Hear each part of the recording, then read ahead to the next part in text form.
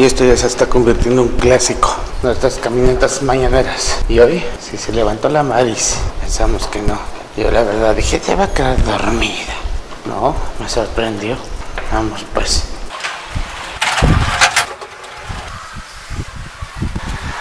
Son 20 para las 7 de la mañana en La Habana, Cuba. Todavía no amanece. Nos levantamos para grabar el amanecer la ciudad desde estas horas de la mañana.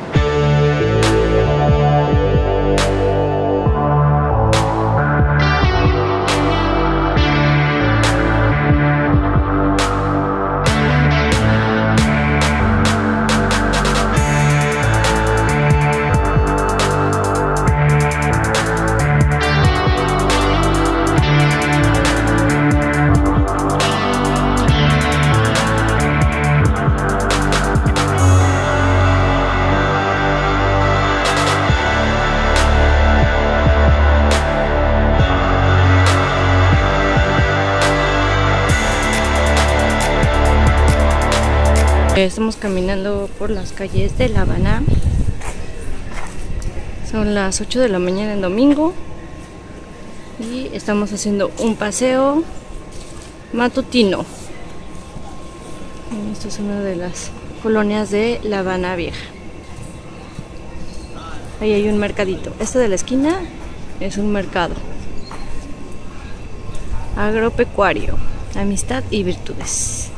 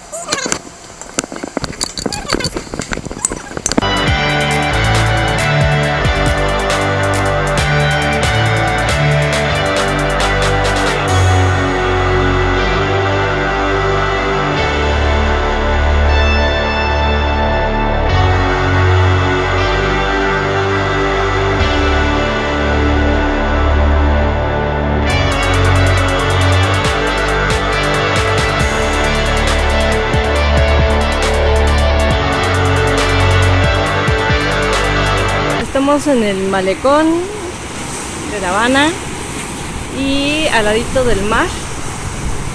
Vean cómo está picado hoy, hoy domingo, 8 de la mañana.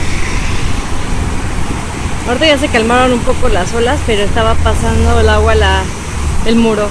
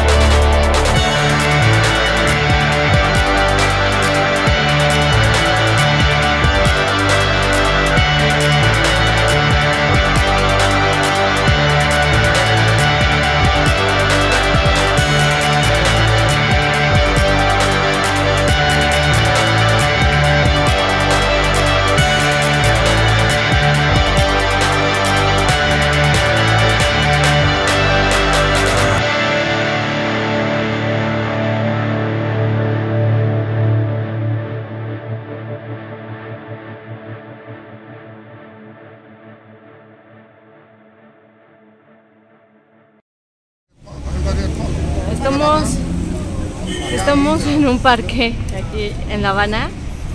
Nos sentamos a descansar un ratito y estamos cerca de una parada del camión y va llegando la gente y pregunta, el último, 13 el último, 13 es el número del autobús y preguntan quién es la última persona que está esperando.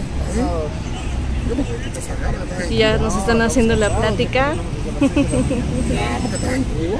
están haciendo la plática que amo. Eso es México, ¿no? Buena onda. Sí. Tú no eres mexicana, tú eres cubana, ¿no? No. Em, hay dos tipos de monedas. Una es el, se llama pesos convertibles, que son estos. Y aquí dicen pesos convertibles. Y otra son como los pesos normales, pesos cubanos. Le llaman moneda nacional. moneda nacional. El punto es que eh, este que es el peso convertible está un poco más caro que el dólar americano, bueno, al menos para nosotros que somos de México. Y este peso cubano o peso en moneda nacional está casi a la par de nuestro peso mexicano.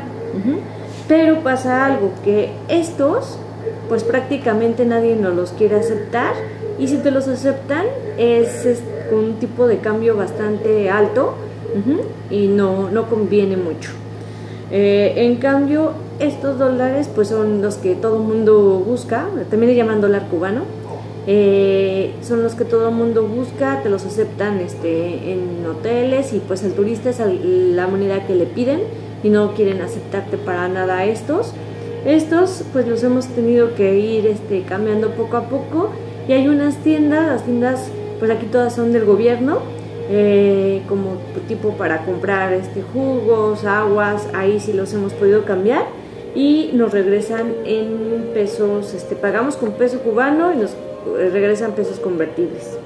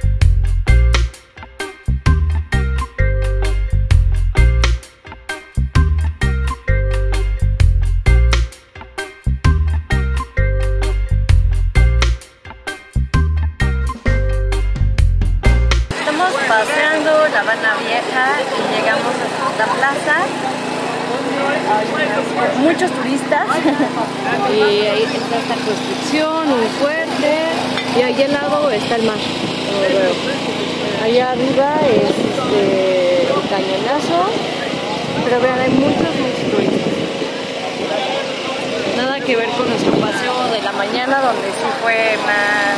ah, más de la vida cotidiana de, de La Habana. Pero bueno, también es importante conocer esta parte. Vamos a dar una vuelta y ya. Bye.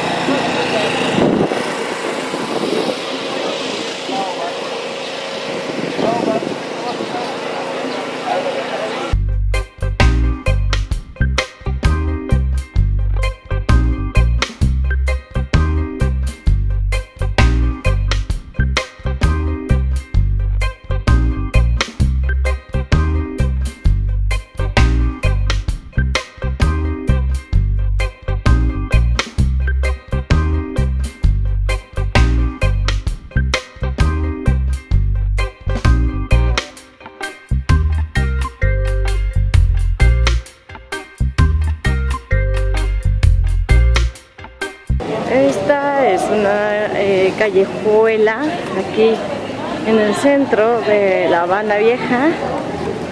Hay restaurantes. Las calles son empedradas y peatonales solamente. Sí, creemos que esto es lo más, más turístico de aquí de La Habana.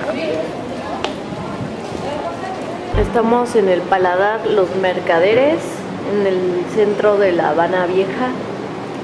Y eh, sí está recomendable, bueno, al menos la entrada. Es esto lo único que quedó del segundo platito de bolitas como crocantes de malanga. Malanga. Malanga. Malanga. Es como un tipo papa, es de la familia de la papa. Y son fritas. Mao pidió tu cola. tu cola. Y los demás pedimos cristal y un bucanero. por ahí está. Bucanero.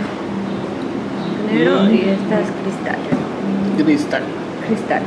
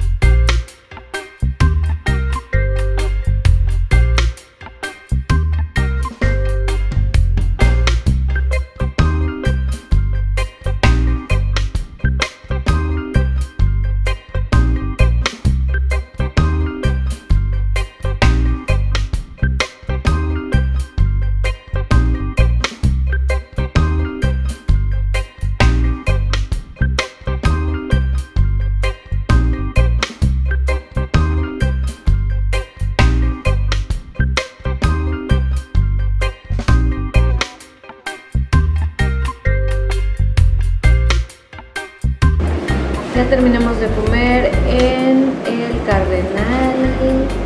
Ah, no, los mercaderes. ¿Cardenal? los mercaderes. Aquí en, La Habana. Y ya al final no pudimos grabar el postre, que fue un plan cubano. Nos lo comimos. Antes de. Y traía coco al lado y chantilly. Está súper, súper bueno. Sí, estuvo bien decorado. ¿Qué más? Muy bien, le recomendamos. Tienen que venir aquí al Paladar Los Mercaderes. Hay música en vivo, pero hay varias secciones. Nosotros estamos en la sección del aire. Eh, por eso no Nos dieron escoger música. o aire acondicionado. Preferimos aire acondicionado. Que sí, el calor está un poco fuerte. Pero muy rica la comida.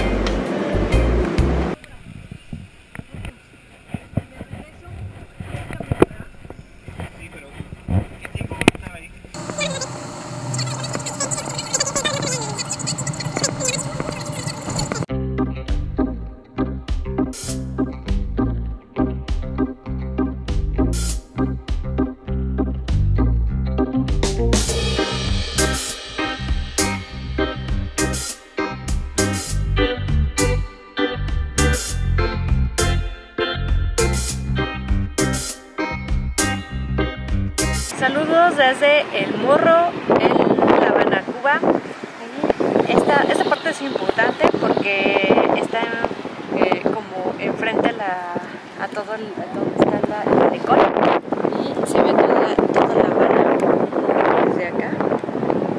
El malecón todo alrededor, toda la orillita, más bien.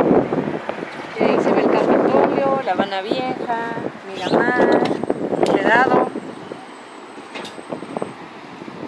Ya anduvimos casi por todos lados entre los días que hemos estado.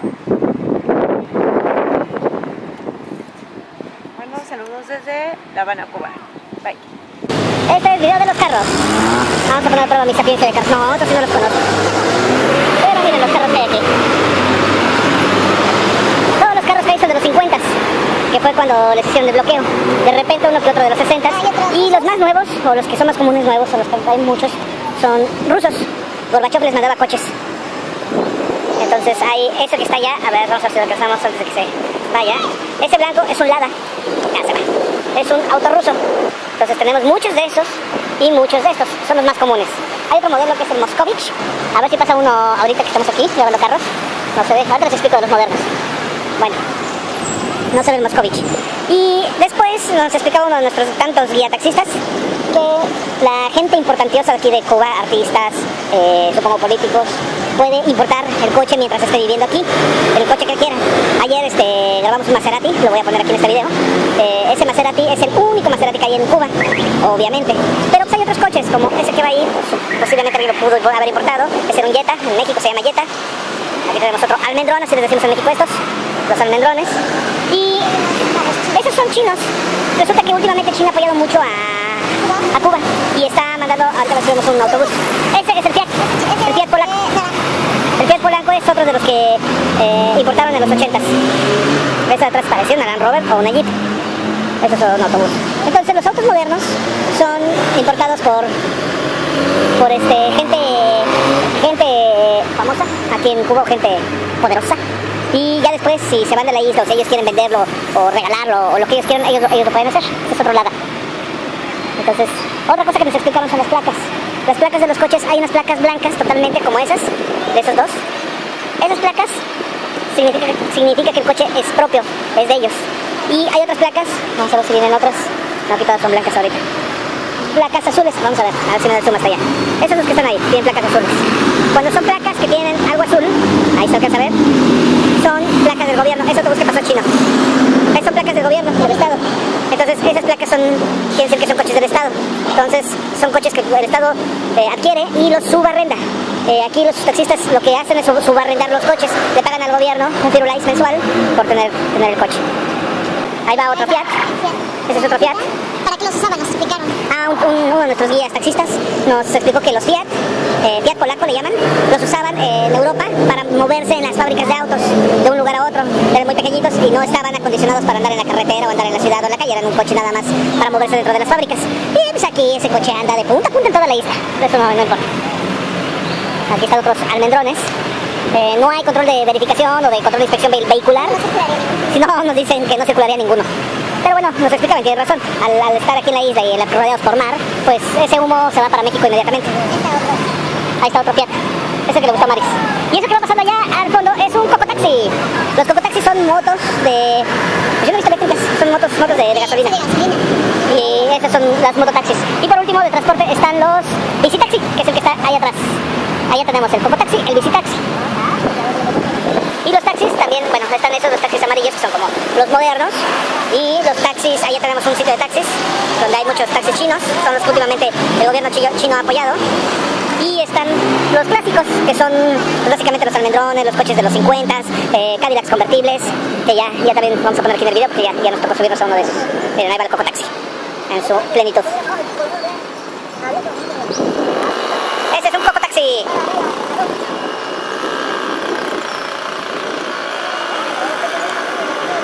Estos son los famosos autobuses chinos. Los guaguas que le llaman aquí. Otro dato, eh, no hay autos americanos, por lo mismo del bloqueo, están como, como prohibidos. Sí hemos visto uno que otro moderno, pero no, la verdad no. Hay Audis, hay Toyotas, hay Peugeot, vemos mucho Peugeot, como que Francia sí les echa la manita. Pero autos americanos, pues después de los 50 ya no hubo más. Otro tipo de autobús más, más corto, más chaparrito. Bueno, ese no sé si es como turístico. Me suena que es más como turístico. El autobús. Más turístico. Motos. No hay muchas. Yo pensé que iba más motos. Como en Vietnam. Pero no, no, no hay, no hay muchas motos. Miren, ahí está un almendrón, un chino. El chino es marca, yo no lo había, yo no lo había visto. Es marca Gli, o algo así, ahorita lo confirmamos. Pero ese, es chino.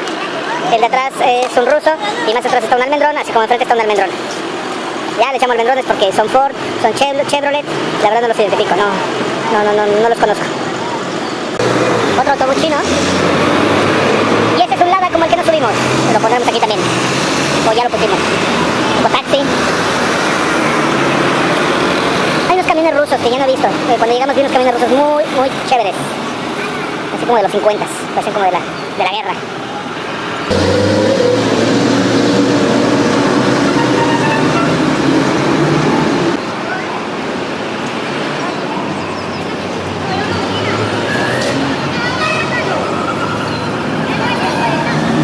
Este hotel no tiene internet, pero sí tiene telégrafo. Pueden mandar cartas a cualquier parte del mundo sin usar internet.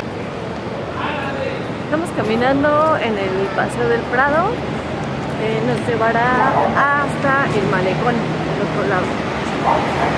Y bueno, es un paseo bastante bonito, eh, rodeado de árboles, puedes caminar y lo, lo mejor es que al lado, a los lados, hay edificios muy muy padres. Eh, algunos, bueno, como eh, aquí en Cuba está el bloqueo, no hay materiales para, y es muy caro este, renovar los edificios. Pues, muchos están en ruinas prácticamente, algunos, bueno, con la revolución se le dieron a, la gente, al pueblo, es hacer este, grandes palacios o casas de gente muy rica, pues se dieron a, a la gente pues común y corriente para que vivieran ahí. Pero bueno, sigue habiendo como muchos edificios muy bonitos y yo creo que en su época de oro ah, eh, esta es una avenida todavía más bonita. Hay algunos este, cafés algunos bares, pueden venir a bailar o a tomar algo. Eh, pero bueno, nosotros vamos del otro lado al malecón.